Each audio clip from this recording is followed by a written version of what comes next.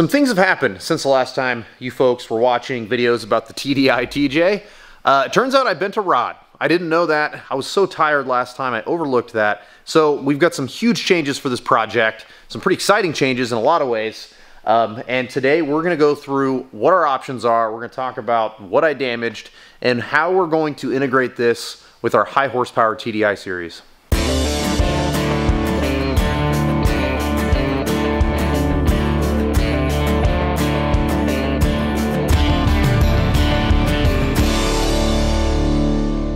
I know a bunch of you are already wondering why combine both TDIs into one series? Why, why not just build them separately?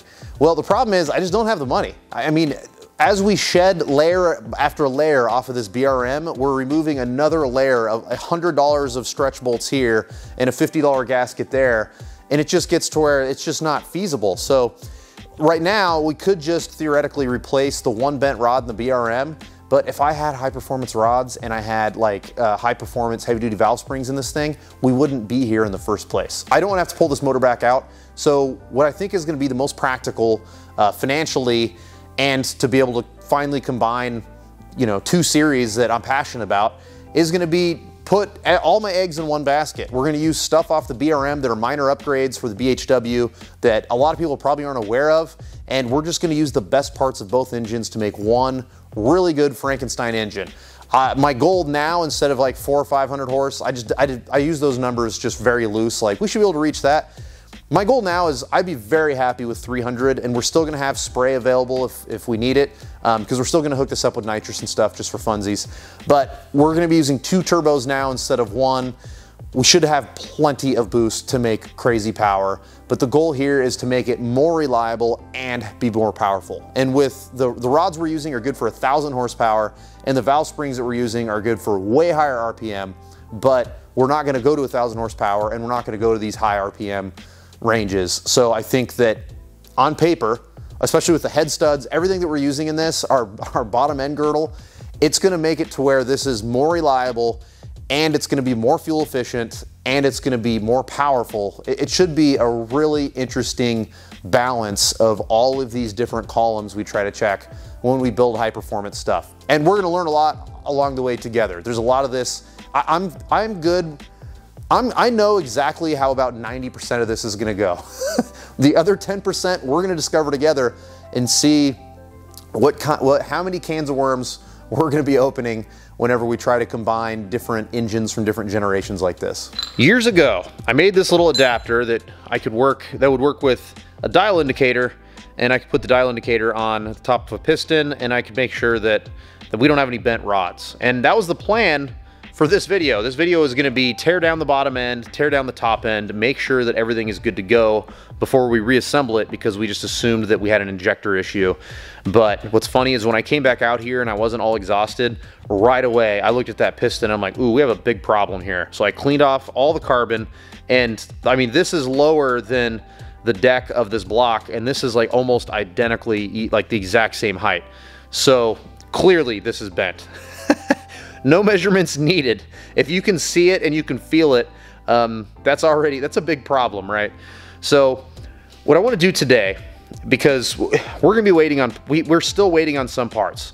I want to go over the full recipe. We have a ton of performance parts here in the shop. I'm going to go over the full recipe, including turbos and everything that we're going to use to build the BHW.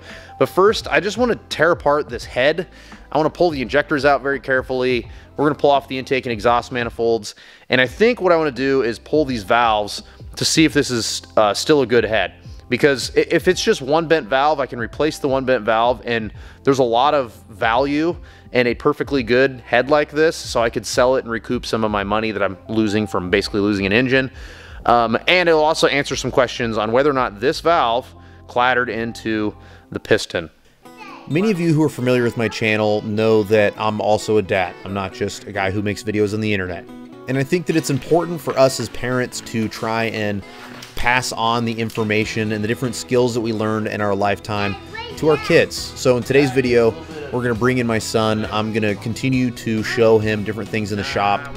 Um, when he was two, he was already separating his first engine transmission, and now that he's four, he's starting to learn and remember a lot of the different terms like cherry picker and turbo and head gasket. So It's important for me to continue this education, and uh, even though this might be a little bit distracting for some, I'm going to keep it in here because I think it's important um, for me to work with my son out here and not always be working on these projects by myself. Turbo. Turbo. It's called a turbo, right? Turbo. So we need to take off the turbo, and then we're to take off our intake manifold. Now I'm gonna put a new turbo on. Um, we are going to put new turbos on, but we're, we're going to put a bunch of parts from this motor onto that motor, and we're going to put a really big turbo on. Oh. It's going to go super fast. Does that sound fun? Yeah. Okay. Well, first step is remove the old turbo. I don't know, ready loose? You remember how to use this, right?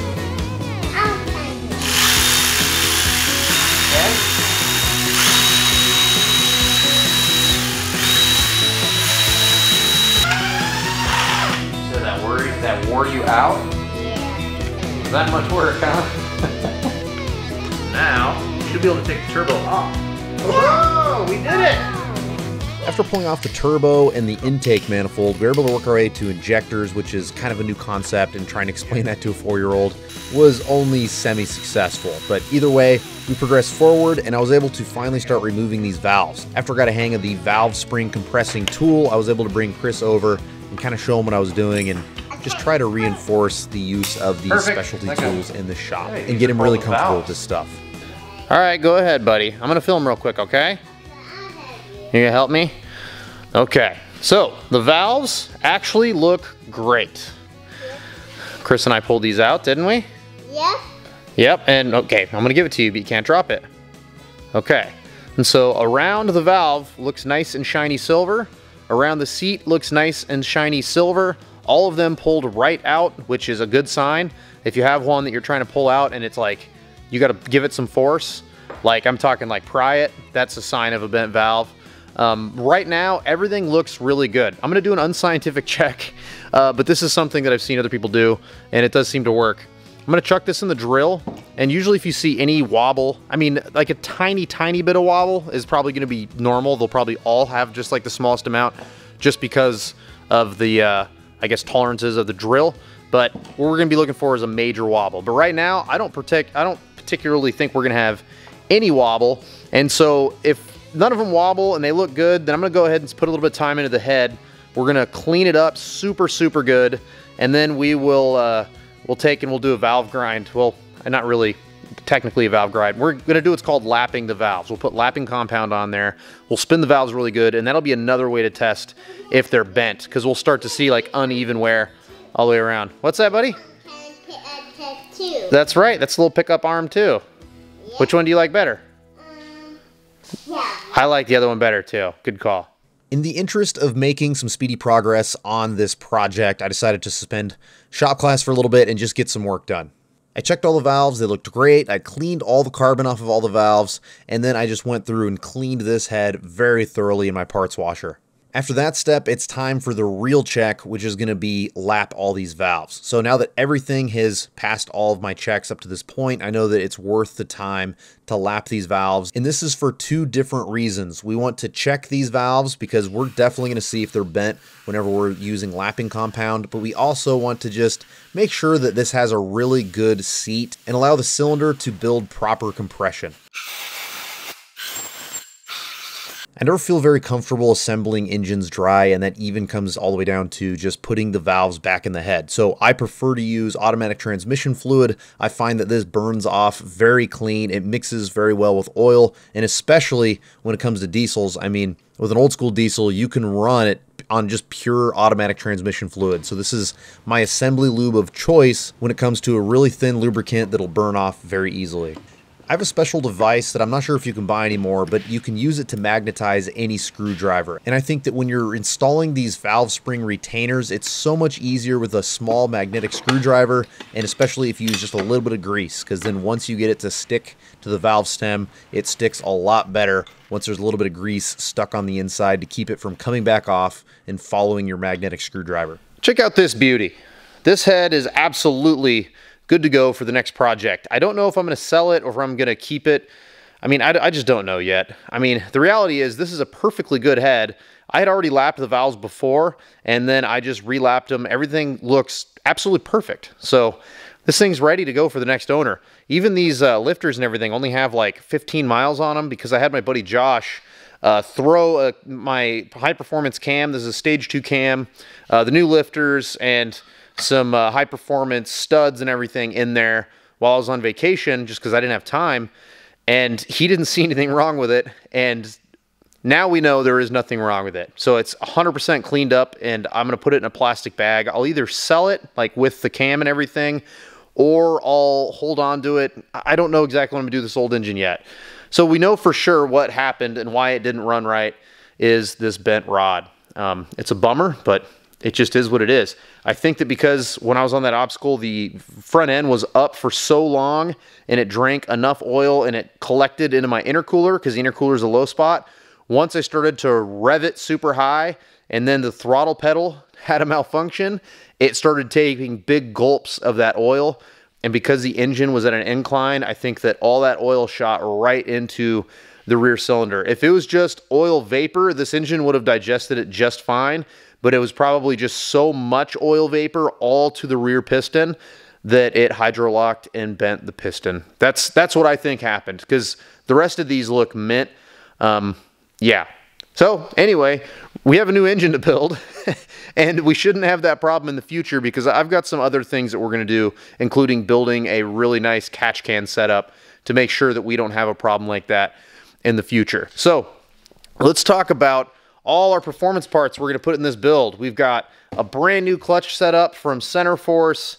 Um, I'm working with quite a few sponsors to make this possible. It's taken me over a year to accumulate all this stuff, but we've got uh, low compression pistons. This is something I got off of eBay. It's just a generic exhaust manifold for our compound turbo setup. Uh, everything in front of you is from a company called Whitebread Performance. Check this out. Property of Dirt Lifestyle. it's pretty rad. So I'm working with Matt from White Bread Performance. I believe it's white bread. It's either white bread or Whitbread. You tell me. Um, but he makes some amazing parts and pieces, heavy duty valve springs, um, this is like a special adapter to make it to where um, we can remote mount our, our oil filter, which is going to make it way easier to install the new motor and easier for us to supply oil to our turbo. This is the turbo we're going to use. Well, one of them. This is a HY35. So let's head over to our whiteboard and we'll talk about all the parts and pieces it's going to take to make this build possible. When I first started making videos on the internet and I unveiled my TDI TJ project, I just had miles of questions, and I still do. Tons of questions about the recipe because I didn't build it on the internet. It, it, was all built before I ever had a YouTube channel.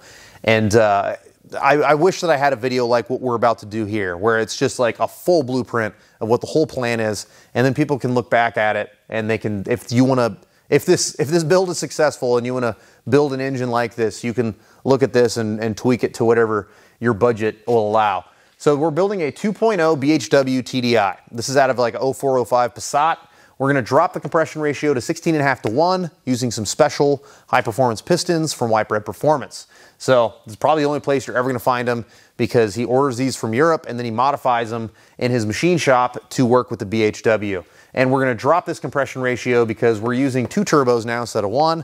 We're going to be flowing a whole lot of extra boost and one of the easiest ways to make an engine last whenever you increase the cylinder pressure from lots of boost is going to be reduce the cylinder pressure on the compression side.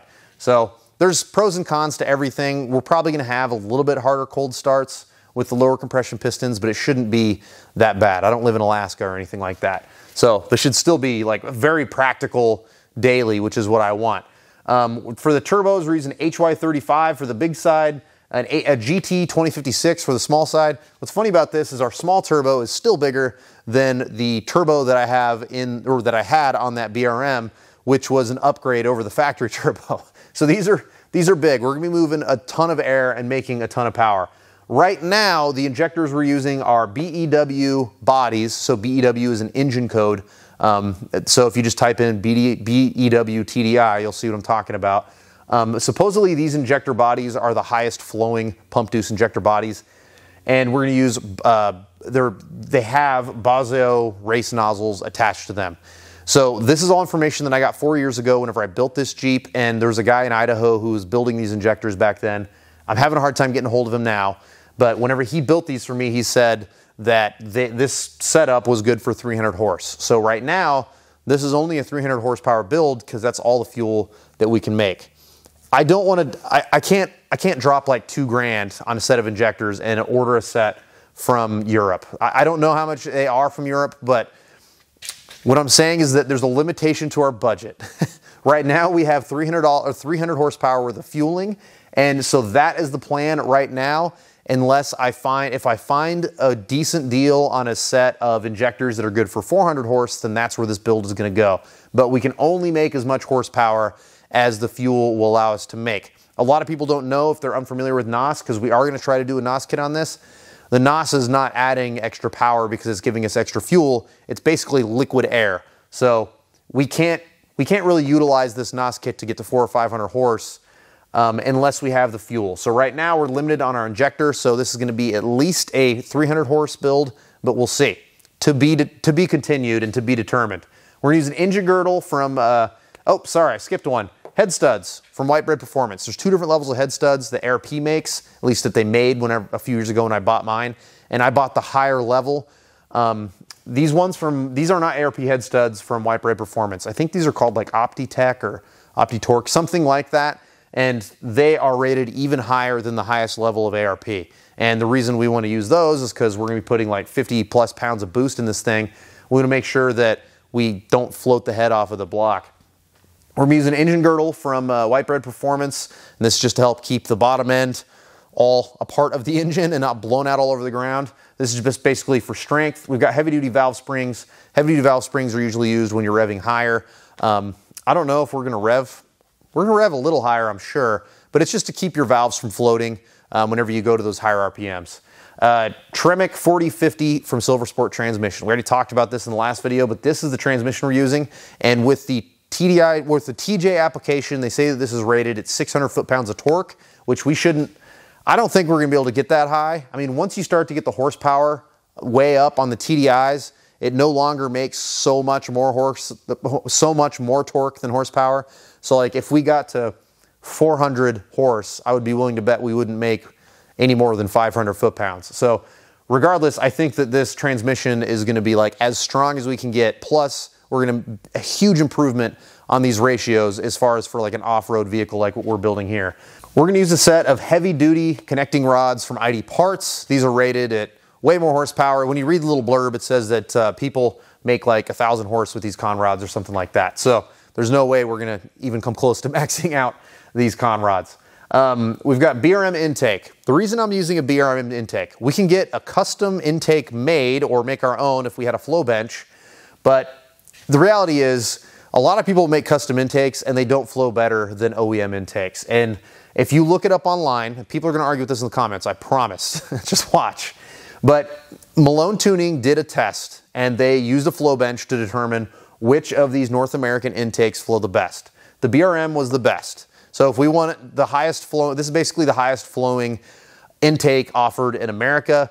Um, I would love to have some like super high end crazy intake manifold made. I just, it's just not in the budget. This is already an expensive build. So we're gonna do a BRM oil pump.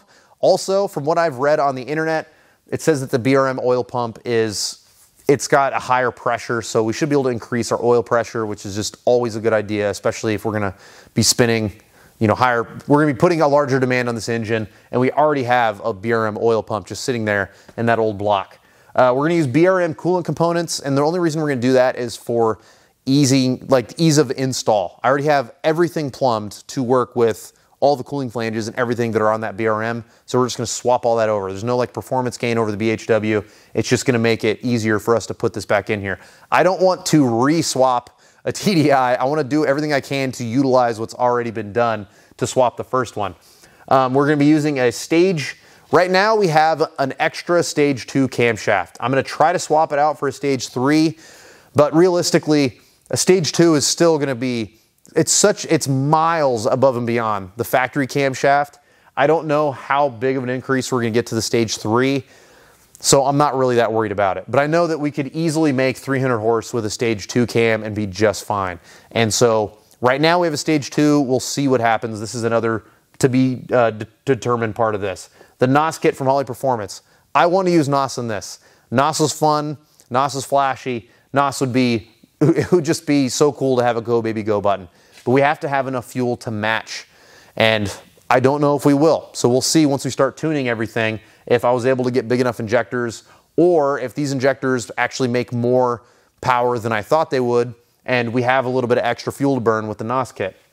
We're gonna do a performance clutch from Centerforce. So I don't know, I don't know the whole backstory on this clutch uh, as far as like what clutch it is. I called Centerforce, I talked to him, I told him everything that I needed as far as like what my requirements were. And they said, oh, we've got, we'll put together the perfect clutch pack for you. They sent it out and I don't really know what it is. I'm gonna have to take it apart and like start looking at what each model number is to see like what the ratings are. But I told him I'm gonna. I, this is when I was originally thinking I was gonna be able to make four or five hundred horse. I was like, it's got to be able to at least that in torque. And they're like, no problem. This clutch will be able to handle it. And I told them it still has to be good off road. They said, no problem. This will be able to do it all. So we will revisit that whenever we uh, install the clutch. All the gaskets, all the bolts, anything extra, like, I mean, O-rings, cooling flanges, anything like that is all coming from idparts.com.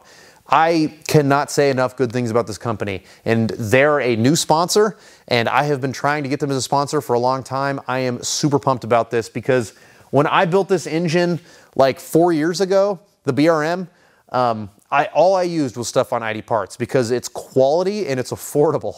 It's like dealership quality parts, but not dealership quality or dealership level prices. So I cannot say enough good things about this company, and you're going to see we're a lot of the stuff that's going to be coming in next week and the week after that we're going to start building this engine with, like pretty much all of it is going to come from ID parts because I just, I really prefer to use the parts that they have on hand because of the quality. So if you enjoyed the video, thumbs up, subscribe, all that other stuff that you do to the YouTubers you like. If you want to help support the channel, you can go to thedirtlifestyle.com. We have t-shirts, hats, net gaiters, stickers, all that stuff. We also have a link to our Patreon account, and we do an extra video a week for our Patreon people, and we do all of our fan rides and everything for our Patreon people as well. So if you want to be a part of that community, just uh, click the link and you can sign up there. If you want to follow me on social media, I'm at Dirt Lifestyle Nate. We'll see you next time.